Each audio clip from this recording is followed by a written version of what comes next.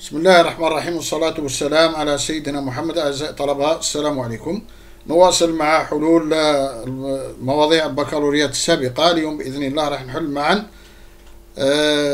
التمرين الثاني اللي جاب الموضوع الثاني بكالوريا 2008 خاص بشعبة علوم تجريبية كما أنصح به علوم عفوا شعبة رياضيات وتقني رياضي وهذا لأنه الحل تاع الموضوع الفائدة منه وهو المراجعة للبكالوريا الجاي يعني 2019 ولا 2020 وهكذا بإذن الله. ها هو نص التمرين عليه ربع نقاط. كما أعتذر على الكتابة إن لم تكن واضحة لأن الموضوع 2008 قديم. يعني آه، قال لك هذا النص مأخوذ من مذكرات العالم هويغنز سنة 1690 الله يبارك كان جدي كان مزاج الله يرحمه الله يرحمه السعدي جدي. صح. في البداية كنت أظن أن قوة الاحتكاك في مائع غاز أو سائل تتناسب طردا مع السرعة ولكن التجارب التي حققتها في باريس أيوة 1690 كان السيد في باريس. بيّنت لي أن قوة الاحتكاك يمكن أيضا أن تتناسب طردا مع مربع السرعة. وهذا يعني أنه إذا تحرك متحرك بسرعة ضعف ما كانت عليه يصطدم بكمية مادة من الماء تساوي مرتين ولها سرعة ضعف ما كانت عليه ما كانت لها. أولا آه ولا نقول لكم كيفاه؟ شوف كيما تعودنا أقرأ النص. صح قريت لكم هذيك؟ ديروا بوز. أقرأ حتى السؤال هنا حتى الاثنين. درتو بوز؟ قريتو صح. زيد دركا أقرأ من الألف حتى أي قريتو من الألف حتى السؤال الثالث. شوفوا المنحنى درتوا pause قريتوا المعطيات اكتبهم عندك في المسودة ها؟ يعني اكتب عندك rho صفر و rho و g. c'est bon؟ خلاص. هاي هكا ما نضيعوش الوقت صح.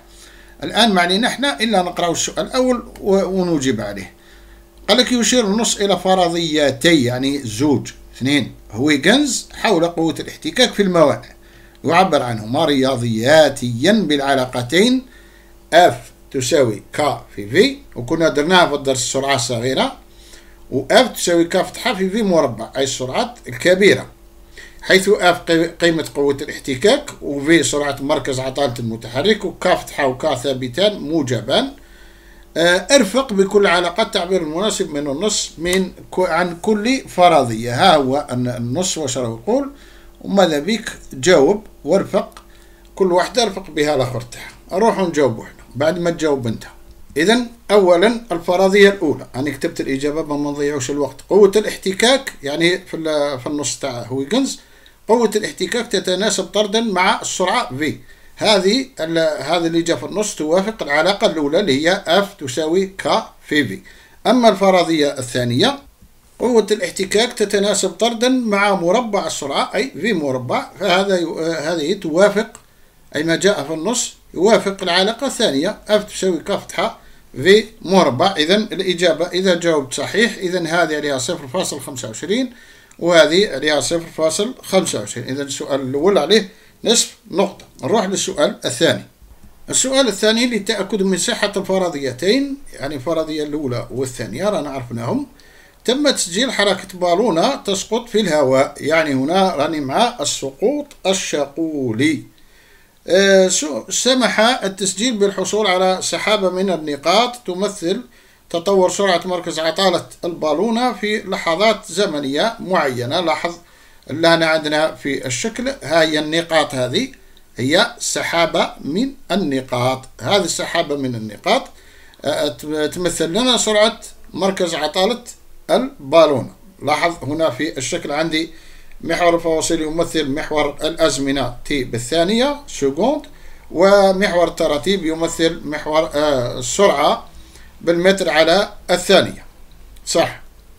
إذا قال لك ألف سؤال ألف بتطبيق القانون الثاني لنيوتن واعتماد الفرضية المعبر عنها بالعلاقة F تساوي K يعني الفرضية الأولى أكتب يعني اعتمادا على الفرضية الأولى نكتب معادلة تفاضلية لحركة سقوط البالونة بدلالة. لازم تكون تكتبها بدلالة هذا الخمسة اللي ذكرهم من لهنا أي رو صفر اللي هي الكتلة الحجمية للهواء ما عطوها لنا في المعطيات كما قلت لك اكتبها ورو هي الكتلة الحجمية للبالونة يعني للجسم أم كتلة البالونة وجي تسارع الجاذبية الأرضية وكهو ثابت التناسب. تاع صح.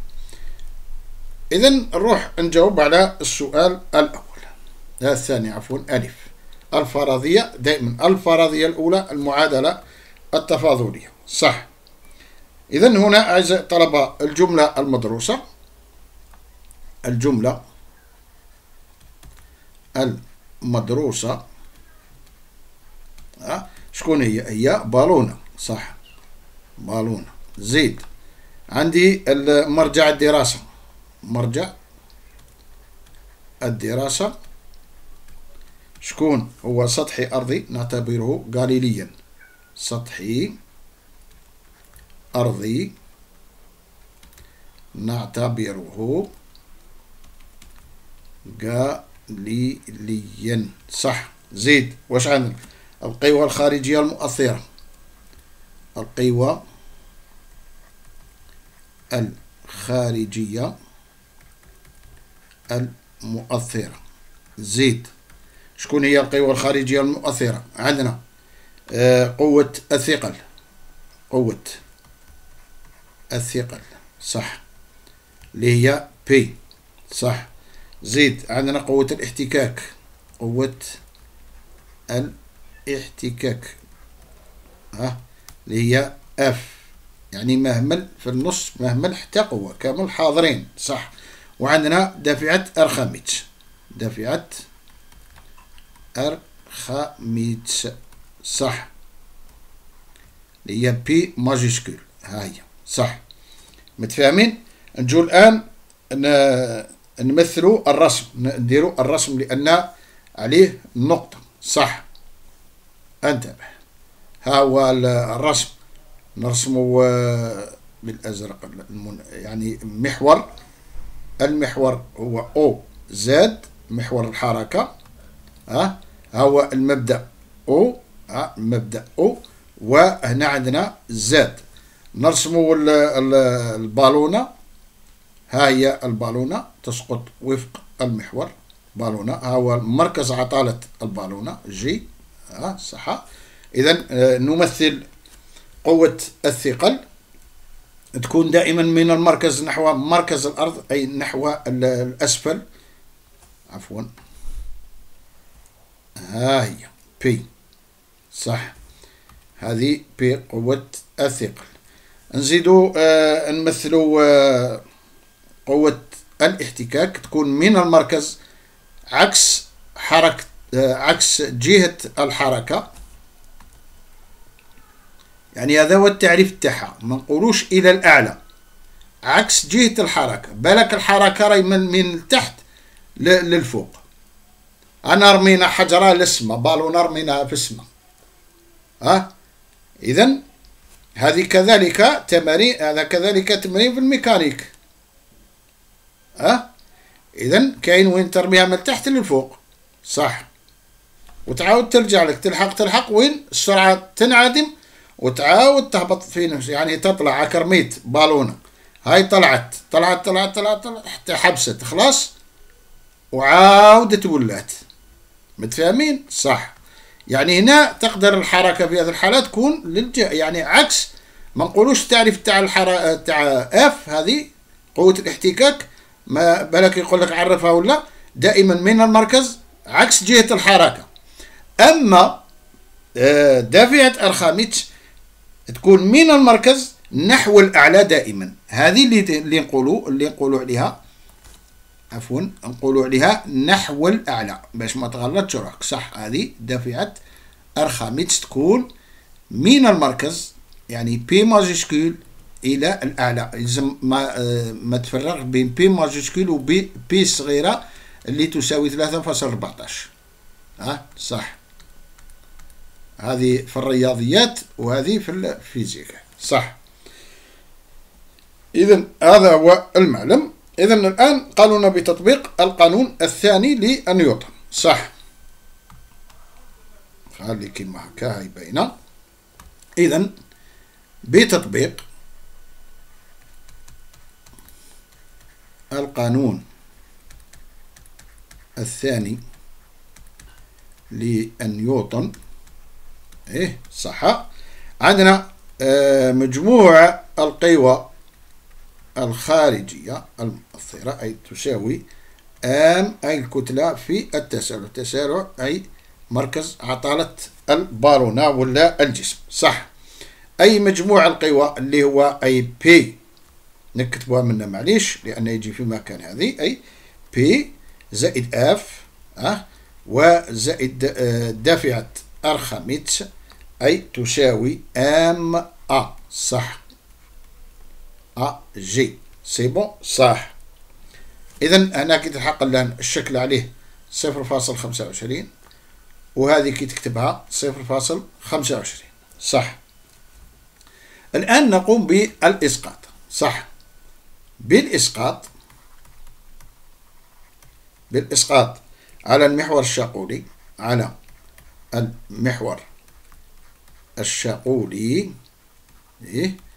محور الشاقولي. على قلنا الشاقولي OZ. ولا تقول محور الحركة OZ. من الأحسن توضح أن المحور هو شاقول. صح. يعني عندنا لاحظ بالإسقاط لاحظ أن P جهة الحركة أما f و pi عكس آه، جهة الحركة. يعني P ناقص f ناقص pi تساوي m a G صح؟ هذا تكتبوا ا بلا جي ولا هكا يعني نفس الشيء. المهم نقصد به التسارع الآن كي دير إسقاط هذه عليها صفر فاصل خمسة وعشرين صح؟ نواصل نواصلوا وين رانا؟ إذا أعطونا آه العلاقة تاع الفرضية الأولى في النص. إذا لدينا اف تساوي ك في في هذه اللي عطاوها لنا يعني الفرضية الأولى. الفرضية الأولى. صح. متفاهمين؟ وعندنا هذه عندنا حاجة. صح. وعندنا الكتلة تاع الجسم تساوي رو أي الكتلة الحجمية للجسم في في الحجم. صح. وعندنا عبارة دفعة أرخميدس تساوي الكتلة الحجمية تاع المائع في جي في في في نفس الشيء تاع الجسم أه في تاع الجسم. حيث نكتبها هنا حيث V هو حجم البالونة هو حجم البالونة. صح. c'est bon كي تمد هذه المعطيات اللي راح تخدم بها عندك صفر فاصل. خمسة وعشرين. صح. الآن نبدأ. لا توكلوا على الله نبدأ نخدموا إذا نعوضوا P بالقيمة تاعها اللي هي m g f نعوضها باللي تساوي k v إذا أعطاها لك k في v مربع اكتب k في v مربع. إذا أعطى لك يعني الفرضية الأولى اكتب الأولى أعطى لك الثانية الثانية. تبع واش يعطولك في التمرين؟ k v صح. ونعوضوا pi آه، بالقيمة تاعها بالعبارة تاعها أي rho صفر في g في V صح. تساوي ام ام وعندنا التسارع هو مشتقة السرعة بالنسبة للزمن مشتقة السرعة بالنسبة للزمن. لاحظ هذه هنايا عوضتها كل وحدة آه، بصوالحها. على هذيك قلت لك لدينا كذا وكذا وكذا حيث في كذا ومن بعد نبدأ نعوض. صح. تقدر تقول ثاني هنا تكتب و آ تساوي تقدر و آ تساوي دي في على دي تي تقدر تزيدها لنا هذه من لدينا تقدر تزيدها هنا عادي صح. واش نديروا الآن؟ تولي لنا هذه كافي في تروح الجهة الأخرى إذا تولي لنا دي ام دي أي مشتقة السرعة بالنسبة للزمن زائد ك في في ها صح تساوي تساوي m g ناقص كتلة الحجمية للماء في g في V أي آه، حجم البالون. صح. إذا كاينة حاجة اللي هنا نعوضها هي هذه تاع الجسم. الكتلة تاع الجسم ها هي العبارة تاعها. صح. نعوضها. صح. نزيدو نعاودو نكتبو هذه ونعوضوها. ونعوضوها. إذا ماني ناسي والو. هذاك هو. هي صح. هي آن دي في على دي تي آه، زائد آه، كا في تساوي. إذا نعوضها بأورو الكتلة الحجمية للجسم آه، في جي في جي في لأن في في صح. صح. ولا في رو في جي في في وهي تكتب آه، رو في جي معليش أنا كتبنا هكا درك تشوف على ناقص رو صفر جي في في صح. لحد الآن كي تلحق لهنا عندك صفر فاصل خمسة وعشرين. إذا كعادتنا إحنا رانا راح نخرجوا معادلة تفاضلية. دائما نقسم على أم. نقسم الطرفين على أم. نقسم. دائما ننسى القانون الأحمر هذا. إذا نقسم الطرفين عفوا. على أم. صح. يعني كيف نقسم طرفين؟ على أم. لاحظ. انتبه. هذه على أم. صح. هذه على أم. وهذا كامل على أم. هذه هي الخدمة. يعني هنا أم تروح مع أم. صح. إذا انتبه يعني هذه راحت الآن. إذا عفوا على الضجيج هذا تاع القطط اللي راه برا. عندي الطاقة تاعي لا مشي الذراري يجو قطوطها لا مشي قطوطها يجي السردو كيعوعش يعني ربي يجيب ساعة الخير. أيه معليش هنكملو المهم حيوان أيه dv على dt. زائد k على m. v تساوي أه يعني هنا هذو نقسمهم على m أي rho g V ناقص rho صفر جي في ها؟ جي في على أم. صح.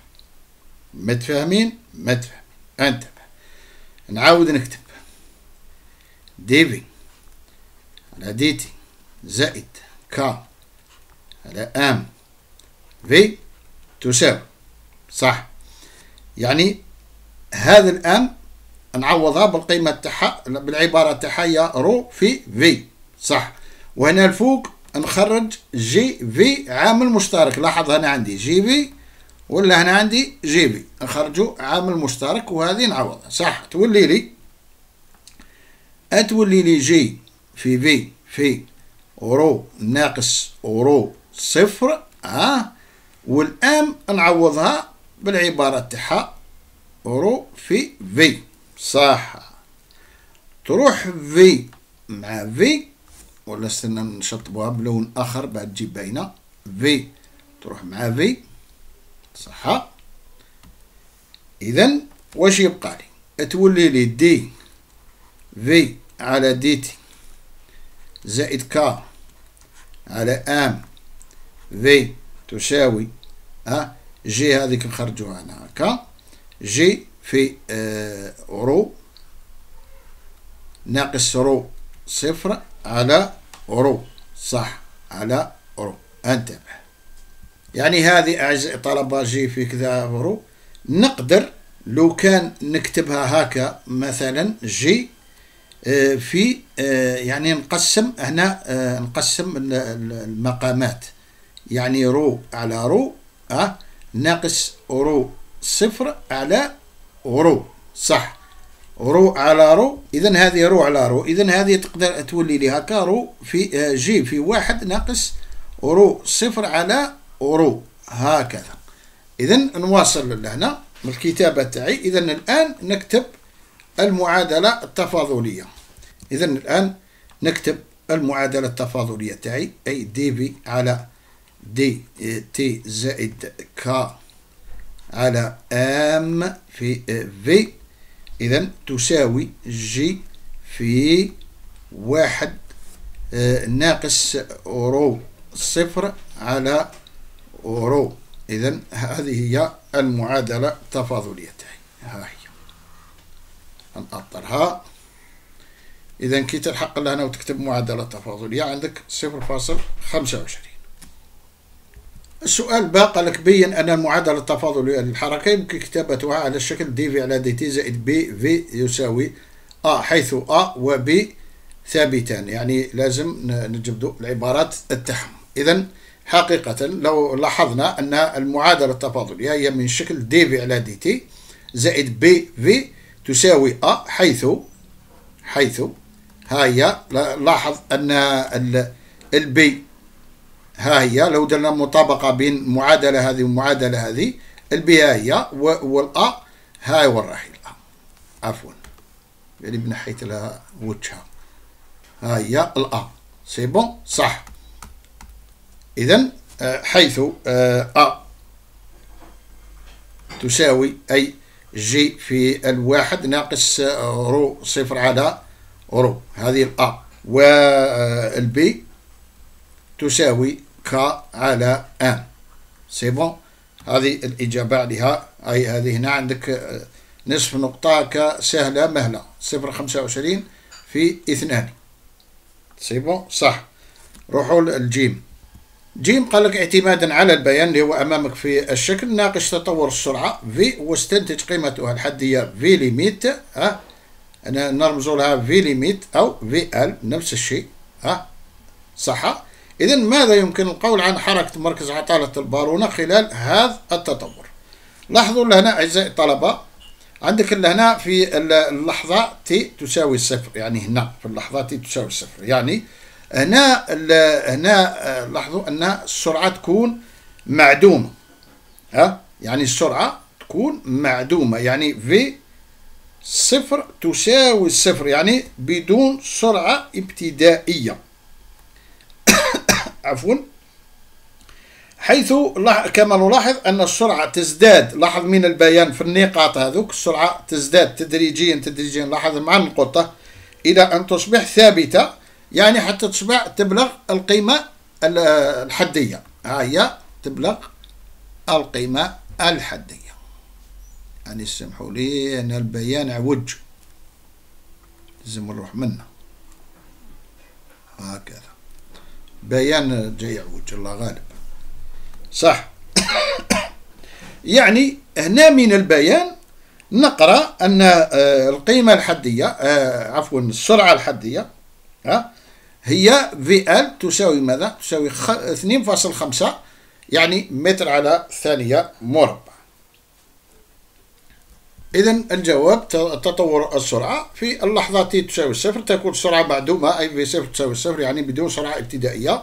وتتزايد السرعة تدريجيا إلى أن تصبح ثابتة عند بلوغ قيمة حدية. يعني القراءة من البيان أي السرعة الحدية في limite تساوي 2.5 متر على الثانية نرجع إلى البيان مرة أخرى.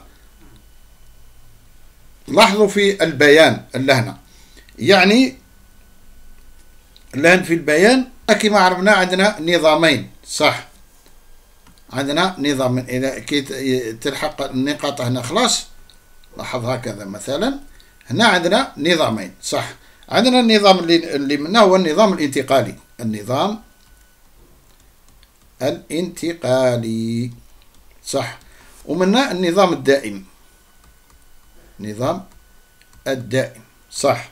إذا هنا كما تلاحظون أعزائي الطلبة يعني في النظام الانتقالي تلحق هذه خلاص هنا تروح هكا. سرعة ثابتة. يعني يعني في هذه الحالة تولينا في تساوي في limite تساوي constante صح. هذه على بالنا صح. إذا الحركة هنا كما تلاحظون في الشكل أعزائي الطلبة تتم في نظامين.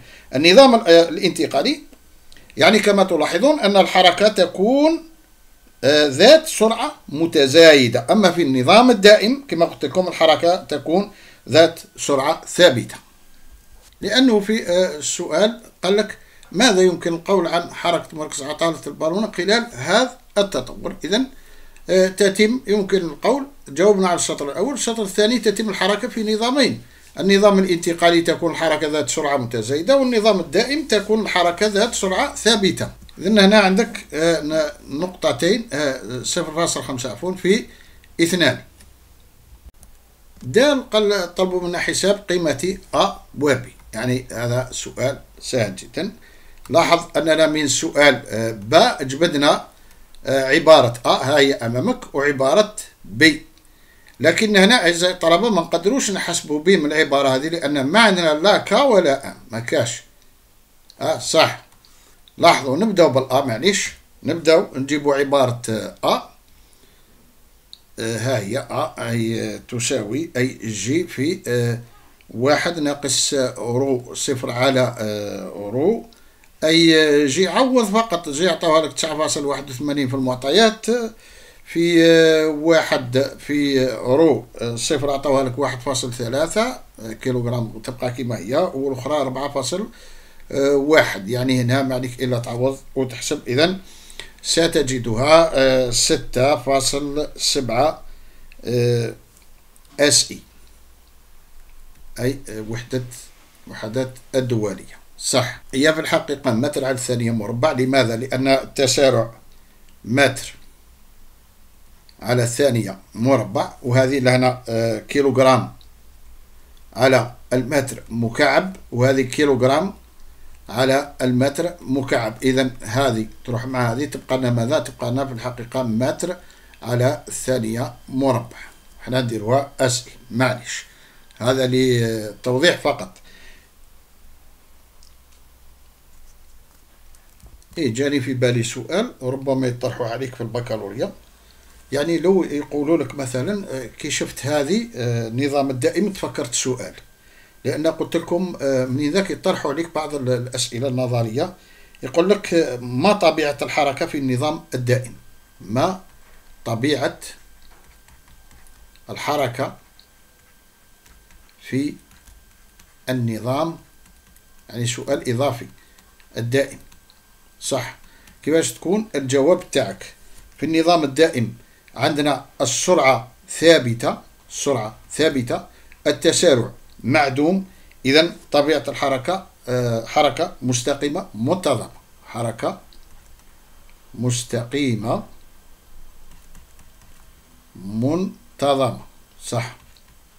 هذه يعني آه، سؤال أضفته يعني آه، جاني في بالي تفكرت قلت لكم عليه. إذا كما قلت لكم أعزائي الطلبة أننا ما نقدرش بقات لنا بي بي ما نقدرش نجبدها من العلاقة هذه بي آه، تساوي ك على ام لماذا؟ ما عندني لا ك ما عندي ام اذا منين نروح نجبد؟ آه، بي منين نحسب؟ بي صح.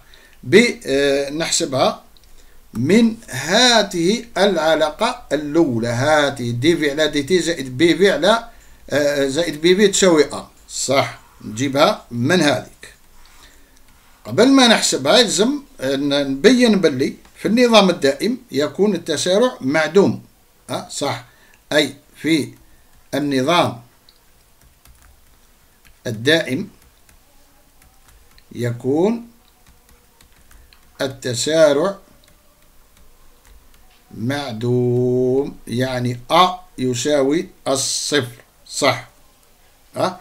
لماذا يكون معدوم لأن السرعة ثابتة صح لأن السرعة ثابتة يعني ومشتق لأن التسارع يساوي مشتق السرعة على آه، بالنسبة للزمن ومشتق الثابت يساوي الصفر أه؟ لأن السرعة ثابتة يعني تقدر تكتب أ تساوي دي في على دي تي تساوي الصفر أه؟ علاش التسارع معدوم لأن في النظام الدائم السرعة ثابتة المشتق تاع الثابت يساوي الصفر. و في تساوي أي في عفوا. أي bloqué لي هذا.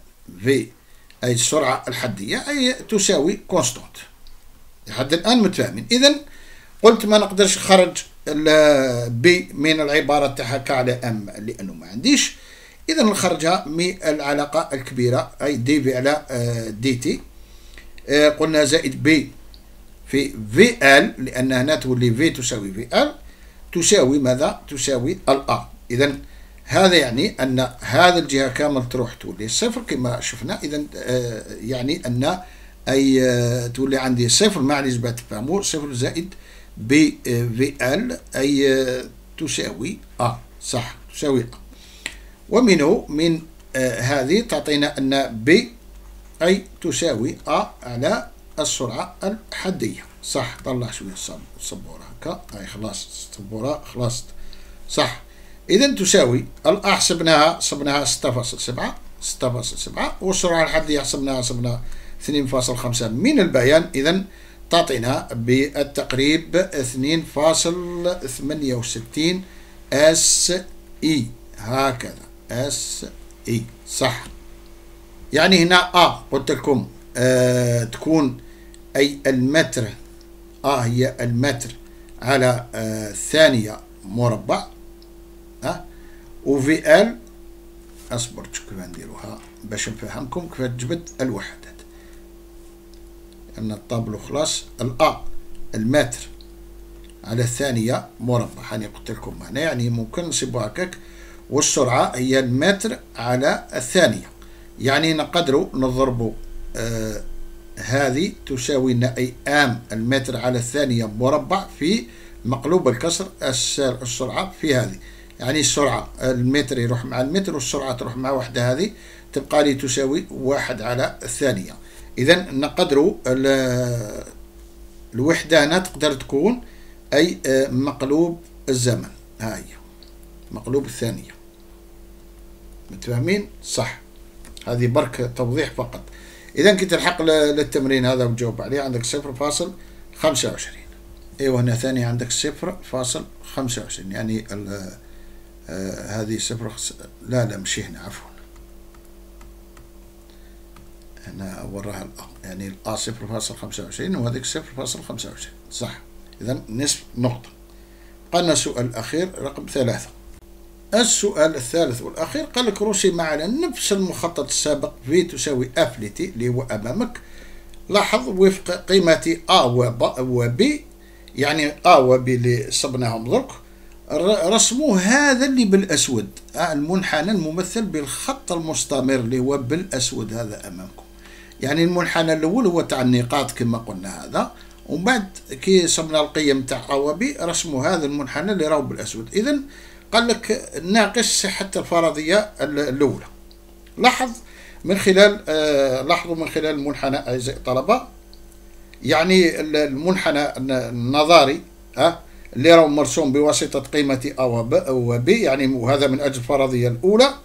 آه يعني لاحظوا أنه ينطبق لاحظ جاي سوا سوا مع مع حتى لهنا حتى لهنا ومن بعد إيديفي ما يوليش سواسو يعني هنا حتى ل هكذا. حتى صفر فاصل اثنان. ها؟ يعني ها هو نرسم لكم هكا. يعني منا. حتى لهنا جاي سوا سوا مع النقط. ومن بعد منا فوق الصفر فاصل اثنان ثانية يديفيه على النقط. ما يطيحش معاهم سوا سوا صح. يعني راكم تشوفوا. صح. يعني هنا هذا من أجل القيم الصغيرة للسرعة. من أجل القيم الصغيرة للسرعة يعني كي تكون في آه، تنتمي للمجال يعني من الصفر حتى للواحد. يعني المجال هذا من الصفر حتى للواحد. هنا الفرضية الأولى هذيك نقدر نقولوا صحيحة لأنها من أجل السرعة الصغيرة. لكن الفرضية هذه الأولى أعزائي الطلبة نلاحظ أنها تصبح غير صحيحة يعني إذا زادت السرعة من واحد يعني فوق القيمة هذه واحد. يعني منا لاحظوا منا حتى لهنا إذا زادت السرعة يعني هنا يعني ومن صفر اثنين وطلع حتى لهنا هكذا. ها؟ كي تزيد هنا لاحظوا أن هذه الفرضية تصبح غير صحيحة. يعني كي تكون في أكبر من واحد يعني السرعات الكبيرة كما نقولوا نسبيا. كيفاش نجاوبوا عليه هذه؟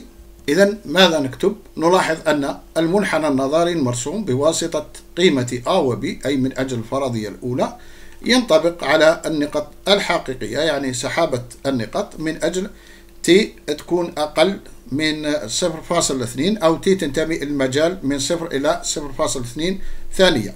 أي من أجل القيم الصغيرة للسرعة أي في تنتمي المجال من صفر إلى واحد متر على ثانية. إذا الفرضية الأولى صحيحة في هذا المجال. وبعدها الفرضية الأولى تصبح غير صحيحة كما أريد لكم في البيان إذ أن البيانين لا ينطبقان من أجل في عندما تصبح في أكبر من واحد متر على الثانية يعني السرعات الكبيرة نسبيا. أعزائي الطلبة إلى أن ألقاكم بإذن الله في بكالوريا آخر أترككم في رعاية الله وحفظه. والسلام عليكم ورحمة الله تعالى وبركاته.